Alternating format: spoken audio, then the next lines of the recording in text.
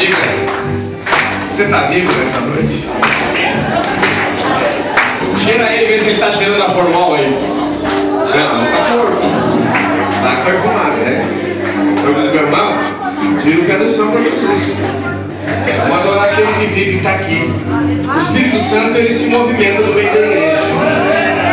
Né? Não vamos falar, né? Mas tem igrejas aí que as pessoas ficam ali.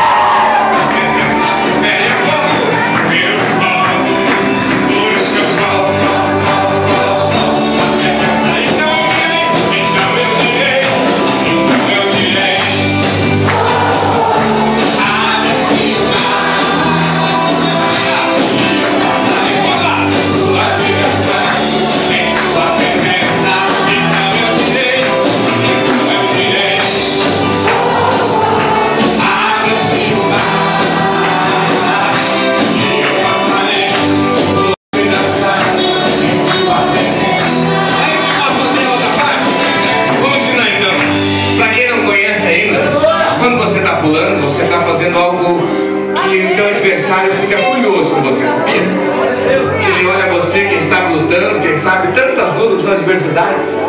Mas não é para você ser derrotado, é Deus acrescentando na tua vida mais estrutura para você ser maior e ser melhor. Ele olha para você, o diabo olha para você, os inimigos olham. Quem está pulando, dançando, vai acertar lutando? É que ele não sabe que existe algo dentro de você que é bem maior, é a tua fé em Jesus.